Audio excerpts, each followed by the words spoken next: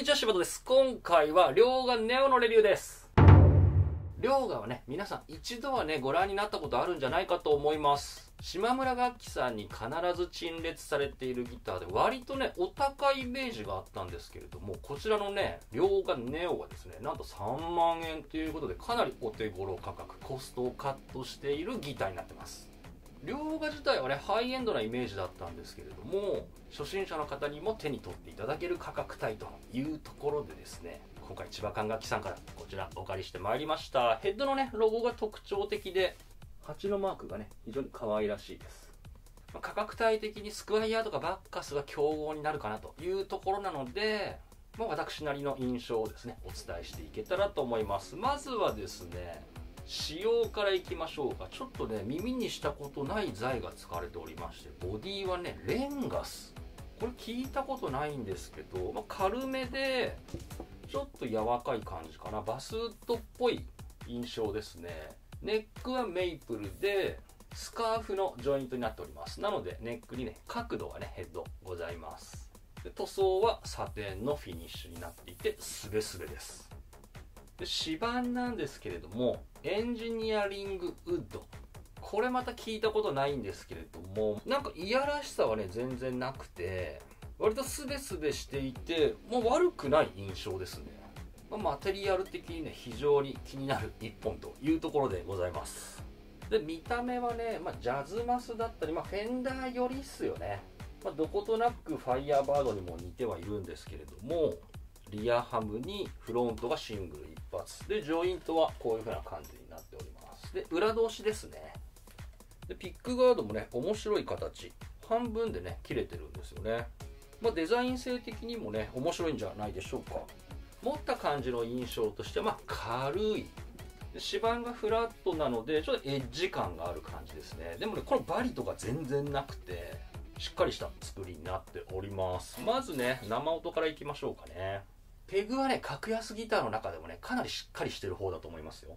さすがその辺はねこだわってるのかなと。でメイドインチャイナ。では生音。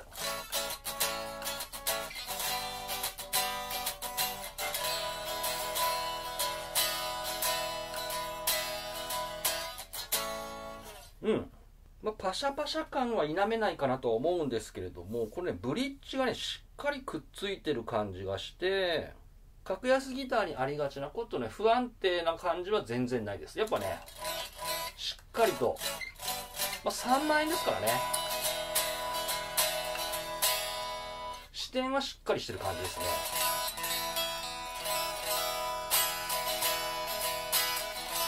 まあ明るい響き。全然悪い印象はないです。ではリアからいきます。ハムなのにねカラッとしてますね。うん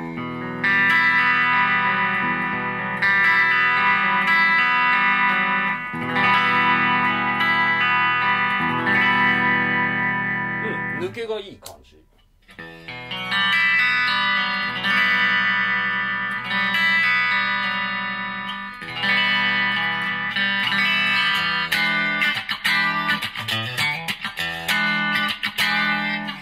出力がね一気に弱くなるんだけど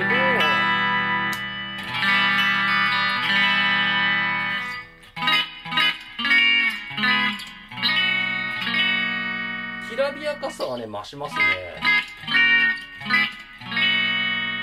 このミックスはね使い勝手良さそうな。うん。でフロント。おお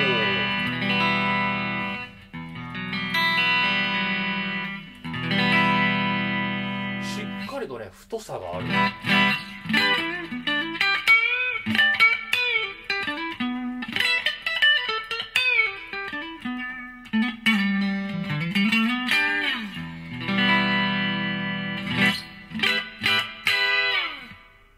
固めのサウンドでね結構ね好みですね。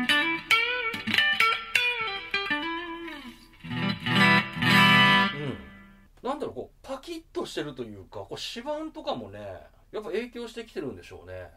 ハムも全然重すぎず。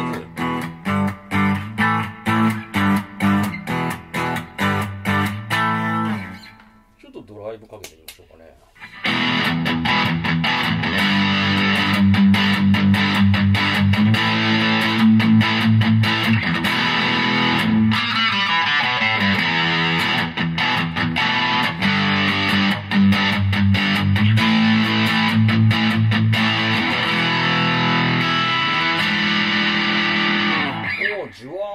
してるしフロント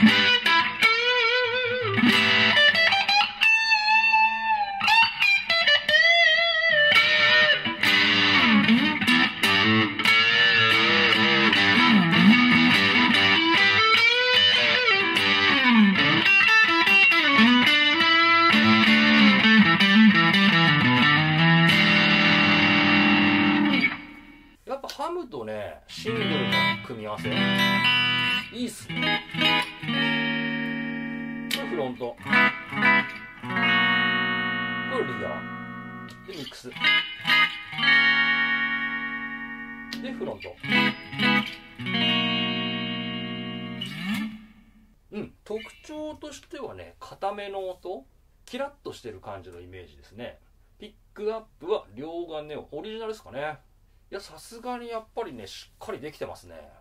特にここがみたいなところはないんですけれども、まあ、この価格帯独特のねちょっとパシャパシャ感。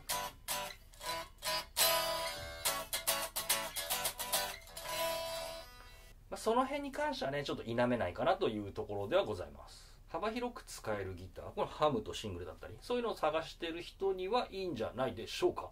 ぜひぜひ見かけたら試奏してみてください。ご視聴ありがとうございました。島田でした。